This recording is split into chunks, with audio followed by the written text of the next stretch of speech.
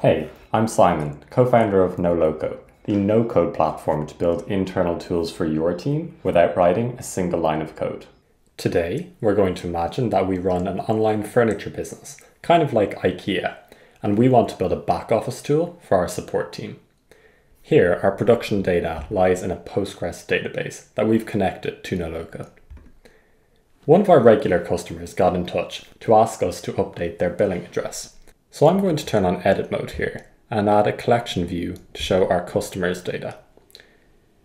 I see I've added a basic table. I'm going to just update some of the fields that get shown here to only show those that we need to see. That looks okay. And then I can add a filter field so that I can search for a customer by their name. So our support team can come in and search for a customer by their name, such as Forest Leo Partners, for example. I'm going to click into the relevant customer record. And again here, I might want to tidy this up so that I only show certain fields that our support team needs to see. So I'm going to reorder these by simply dragging and dropping. And then I'm going to make this take up 50%. Perfect, that's a lot neater. Now that we have our record view ready, all we have to do is click the edit button, update the billing address, and click done. And that's updated straight away. I might also want to leave a comment for the rest of my team. Updated the billing address as requested via email. So now I've left a comment and the rest of my team can see that whenever they come in to see this record. So that was pretty trivial, but what if we want to kick things up a notch? Let's say our customer had a problem with one of their orders. So what I could do is, from this record page, add a list of orders related to that customer. And of course, I'd want to filter this related record collection to only show the orders that are related with this particular customer. Again, I might want to change what fields get shown here and then reorder the fields to make it make to make sure it makes more sense for our use case. So that looks pretty nice. It's definitely useful having the related record collection of orders here, but really maybe I should add a page to our app as well so that we can look at orders without having to click into a particular customer. So as before, I'm going to update some of the fields that get shown here. So first I want to show the order number, then the name of the order, then the status of the order, and that's pretty good now. I also might want to update the display to make it a full width table instead. I'm going to turn off another field there. And I want to add a filter field so that I can search for a particular order.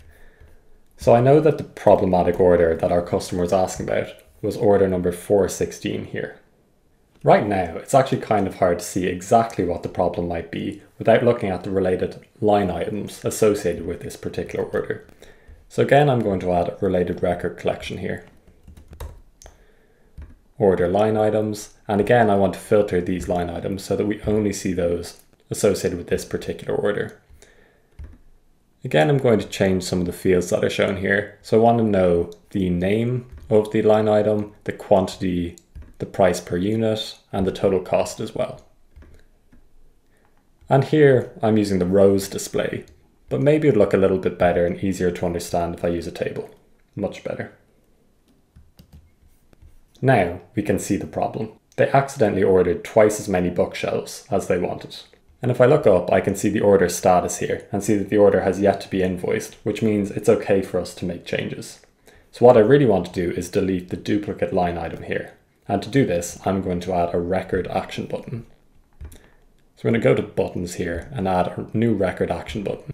I'm going to add my button text here, delete line item. And I'm going to make this a one click action button. And the action here should be to delete a record, and I want to delete the relevant order line item.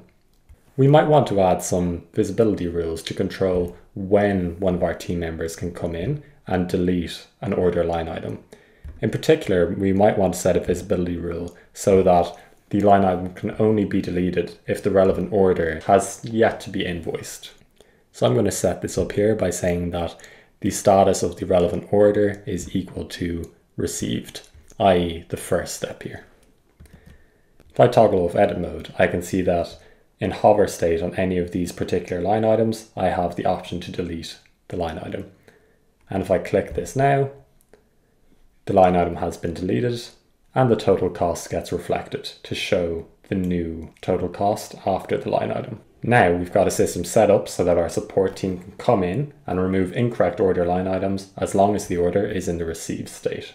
Finally, let's say I want to enable our sales team to add new products to our database. This is actually really easy. If we go back to our products page, we can see the new product button over here. So when you add a collection view, Noloco automatically creates a form for you to add new records to that collection. And like any other screen, you can toggle on what fields get shown and customize the formatting as well.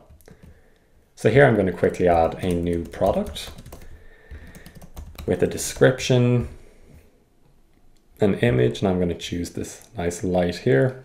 I'm going to say it's of type lighting, materials brass, size 30 by 60, the unit cost let's say $50, choose the relevant vendor and choose the relevant designer. And voila! You can see that the new product has been successfully created and we're at the record page now for that new product.